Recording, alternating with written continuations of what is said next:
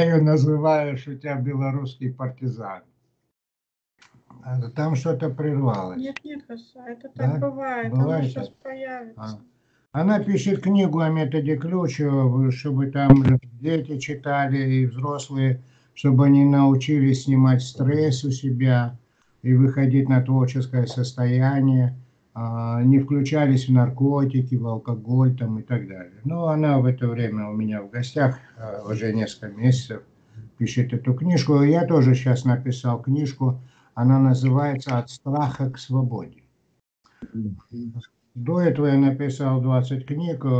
У меня книжки издавались и в Париже, я в бренде э, пяти российских авторов в Париже, и издавались и в Англии, и в Болгарии у меня четыре книги там. И в Сербии сейчас вот вышла книжка. Я почему об этом говорю?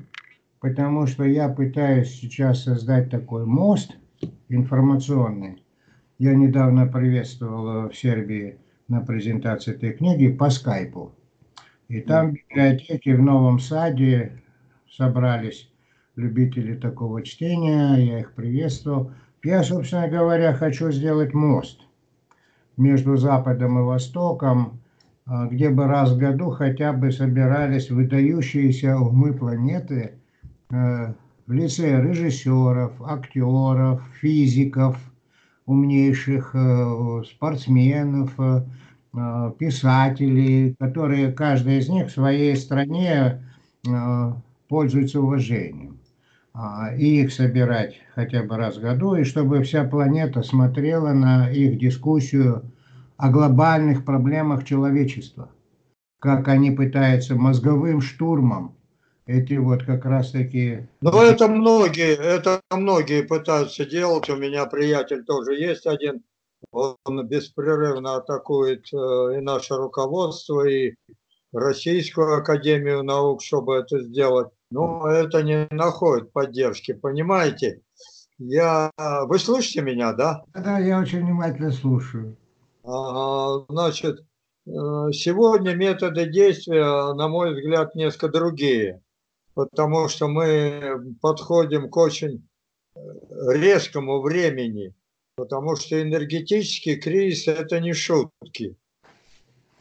Ну И э, единственный метод, как я считаю, сегодня, который может сработать, это начало работ по новым энергетическим технологиям, технологиям, поскольку они предусмотрены таковыми, что это автоматически начало на эти, по этим работам их разворачивание автоматически приведет к изменению социальных форм организации общества. А уговаривать уже времени нет, уверяю вас, потому что очень серьезные проблемы могут начаться уже в этом году. Да, да, я абсолютно с вами согласен, э, что... Поэтому, если вы можете помогать, а, а, вот помогайте мне в продвижении энергетических проблем. А Для этого нужно заставить э, наше руководство и Академию наук провести официальное э, заседание по темам, по, э, по нашим технологиям, с тем, чтобы закрыть современные м, э, ядерные энергетические технологии и, ну, в смысле новой работы, и работы по управляемому термоядерному синтезу. Вот тогда это будет действительно реальный конкретный вклад, который приведет к каким-то конкретным шагам. Да, я вас понимаю. Игорь Николаевич, э, позвольте я скажу а, одну мысль такую. Вот, вот вы ядерщик, физик, э, выдающийся, который... Да не надо мне похвал, давайте по делу. Не в этом дело, потому что я тоже выдающийся, такой же, как и вы, только в своей области. Ну, я не спорю с этим. Каждый из нас, э, поэтому я не похвалами занимаюсь, я просто говорю о том, что как и вы, так и я, а есть еще другой человек, который выдающийся, допустим, в музыке, а есть еще выдающийся там, допустим, в балете, а есть еще выдающийся в химии. А, И мы все иногда находимся в ситуации, когда не можем доказать своему руководству, своему начальнику, своему собеседнику, даже собственной жене, а, что мы придумали что-то новое. То есть речь идет о том, что есть новаторы. И вот эти новаторы, они иногда испытывают такую необходимость постоянно доказывать свою правоту. И иногда возникает такой момент, о котором вы сейчас говорите. А, вы продолжаете доказывать правоту, а вот Академия наук не слышит, а вот э, правительство не слышит. А вот если бы вовлекались в этот процесс миллионы людей, миллионы людей... Так вот я, я об этом и прошу. Так я же это и делаю с помощью этого моста. То есть я хочу вас э, пригласить на этот мост. Вот мы сегодня, сейчас с вами впервые говорим об этом, и это может быть стать э, почином, потому что когда много людей увидят эту беседу, вовлекутся еще, потом вовлекутся еще, потом вовлекутся еще. И потом кто-то, например, сестра, брат, э, сын этого же э, академика другого, который должен это услышать, скажет, слушай, там Игорь Николаевич, интересный у вас человек выступает. А он скажет, да знаем мы Игорь Николаевич, кто же его не знает, его весь мир знает. Но он же говорит еще и с этой стороны. Он там на мосте говорит о том, что вот надо достучаться, контакт создать. Так я этим занимаюсь, потому что вы выдающийся человек в ядерной физике, а я выдающийся человек э, в области психологии и психофизиологии. Я врач, психолог, художник, писатель и так далее. Поэтому я междисциплинарный. Поэтому я и создаю это между, между западными и восточными выдающимися людьми, а как вы правильно сказали, Игорь Николаевич, для сохранения разума на Земле. Для сохранения. Вы со стороны ядерной физики, я со стороны психофизиологии. Я вам хочу сказать, что человек нуждается быть целостным, и поэтому человечество тоже имеет потребность быть целостным. Поэтому и интернет пошел, и много научно-технических достижений, искусственный интеллект созданный, он развивается, и сейчас человечество думает, а не покорит ли нас искусственный интеллект. А я уже понимаю, для чего создал человек. Не только атомную бомбу, а, не только борется за энергетику, а, но и почему он создал искусственный интеллект себе конкурента, чтобы, думая о том, чтобы искусственный интеллект, который будет заниматься самоорганизацией, самосовершенством, не покорил человека, чтобы человек начал задумываться, а что в нем в человеке есть такое, чего нету в искусственном интеллекте, что только человек может делать открытия. Поэтому я создал школу «Человек будущего», «Homo futurus», чтобы люди научились быть э, использовать энергию, самую высшую из всех энергий. Я вам сейчас скажу странную вещь. Самая высшая из всех энергий – это энергия стресса, потому что источником этой энергии внутренний конфликт между э, умом и телом, между душой и телом, это между духом и материей. Вот этот внутренний конфликт, э, который возникает по всякому поводу – то там стекло разбилось, то чаю жена не принесла, то еще что-то денег не хватает. Вот этот внутренний конфликт между тем, каким ты хочешь быть в этот момент и в каком состоянии ты находишься, это генератор постоянной энергии. И я как раз в школе «Человек будущего» Homo Futurus обучаю людей новым приемам и навыкам использовать энергию стресса, для своих новых достижений, чтобы они переключали стресс, который у них возникает, на решение своих вопросов. Они решают там изобретательские задачи, переключают на творчество, входят в поток, например, я в рисовании, там, вот я с травмой шеи тяжеленной, инвалидном состоянии, я рисую картины. Посмотрите, какие картины рисую. У меня много картин э, да я вижу, это очень хорошо, конечно, вы молодец, держитесь отлично, конечно. Но я, вот я еще раз... Ну, это же тоже энергия, энергия стресса. Вы занимаетесь ядерной энергией, а я занимаюсь как раз Нет, энергией. Я, я даже занимаюсь более простой э, энергией, с тем, чтобы у вас завтра свет не отключили. Это вы правильно говорите. А вот самое Поэтому главное, сейчас всегда, понимаете, всегда есть критическая точка в каждом развитии. И человек подходит, когда к этой критической точке, но нужно сосредоточить все усилия именно на этом моменте. Иначе пропадет просто все. Все остальное хорошо, и химия, и театр, и все это человеку, безусловно, необходимо. Но когда у вас завтра отключат свет, как вот уже на Украине начали отключать, а завтра могут и в европейской части России то же самое сделать. Вот тогда мы перейдем к другим схемам обсуждения. Игорь, Понимаете? Э, надо, чтобы свет отключили не только э, лампочки, которые светятся, но и в голове человека. В голове у подавляющего большинства свет отключен давно. Вот, потому что я, я как раз... Когда современное телевидение является мощнейшим выключателем в этом, поэтому это даже комментировать не надо. Так вот Поэтому... я занимаюсь. Я этим как раз занимаюсь, и, чтобы человека свет в голове не отключили, а вы занимаетесь тем, чтобы вообще физически не отключили. Вот мы единомышленники, просто мы с разных... Я, я говорю просто сейчас, наиболее, поскольку подавляющая часть населения находится с точки зрения умственного развития в первобытном состоянии. И, и когда вы слушаете по телевидению передачи там Соловьева и ему подобных ничего другого быть не может. А сегодня для того, чтобы начать человека двигать в том направлении, о котором вы говорите, это, безусловно, правильно. Надо, по крайней мере, с тем, чтобы, когда мы придем на телевидение, свет, реальный свет не был отключен. А для того, чтобы там меньше было Соловьевых, надо, чтобы у большинства людей свет в голове был. Они тогда не будут слушать. Так в, голове, в голове вы, ни вы, ни я в телевидении не бываем.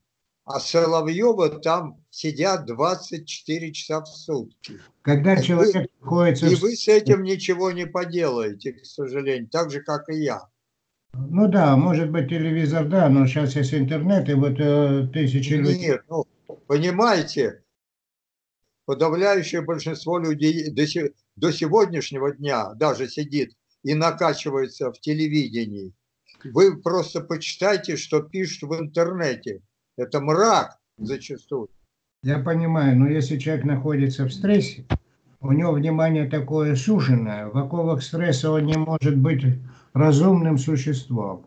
А у него как раз-таки разум в оковах, а ему надо распаститься, снять зажаты, снять зажимы. Я как раз людей обучаю тому, как снимать зажимы, чтобы внимание расширилось, объем внимания стал достаточный для того, чтобы он мог соображать.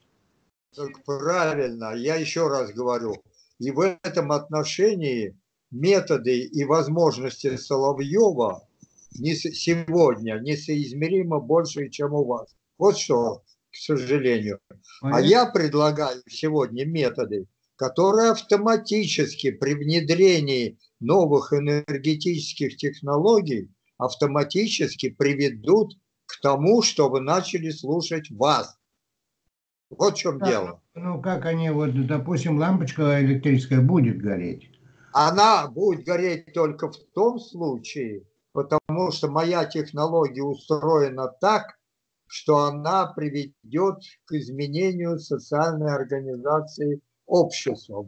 Именно поэтому мои технологии и не пропускаю. Так вот же в чем дело, вот же в чем дело. Нужна же точка зажигания, как э, точка зажигания э, искра. А Ленин говорил о том, что идея становится силой, когда ею овладевают массы. Я как раз таки а, занимаюсь создать мост между Западом и Востоком, потому что и там творческие люди, и там творческие люди. У них есть начало. Еще раз говорю, что в этом отношении возможности Соловьева сегодня несоизмеримы с вашим. Вы занимаетесь этим, я согласен, и это прекрасно.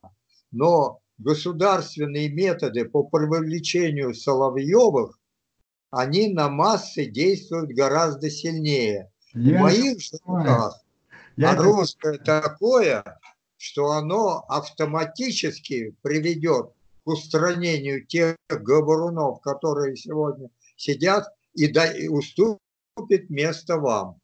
Игорь вот Николаевич, но для этого же надо, чтобы государство обратило внимание на вашу теорию, идею, правильно? Она, как вы говорите, не это, хочет... Это государство обратит внимание, оно давным-давно обратило, потому что мы, например, для Штатов сделали контракт за 70 миллионов баксов и не пропускают эту технологию именно в силу того обстоятельства, что она обнуляет Штаты. Вот в чем все дело. И поэтому я прошу помощи у людей, чтобы они возвышали голос именно за то, чтобы начала разрабатываться новая энергетическая технология. И это приведет автоматически к изменению социальной организации в обществе. Вот. Это взаимный процесс, это взаимный процесс. А, люди, когда становятся ну, светлее в голове, они лучше слышат вас. А, это же взаимный процесс. Э, как можно чисто физически отрицать э, сознание людей? И при этом раз сохранить на планете. Я о чем хочу сказать, что у нас очень много людей находится в состоянии э, стресса, они не слышат. Я пытаюсь им помогать, учить приемам, чтобы они могли использовать энергию стресса. Нет, то, что, то, что вы делаете, я абсолютно понял. Мне я, не надо повторять. Я обратился с тем, чтобы мы создали вот этот мост, где бы миллионы людей включались в это, и там лучшие умы человечества. Давайте. Хотят... Я что, против, что ли? Давайте. Вот давайте.